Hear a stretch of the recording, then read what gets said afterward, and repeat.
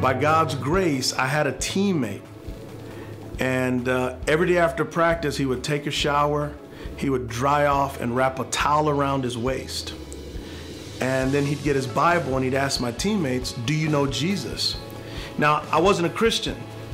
So I thought it was weird that this guy, this big old guy, was half naked with a Bible asking my teammates, Do you know Jesus? And so I asked my teammates, Who is the half naked black man walking around with a Bible saying, Do you know Jesus? And my teammate said, Don't pay no attention to him. That's the naked preacher.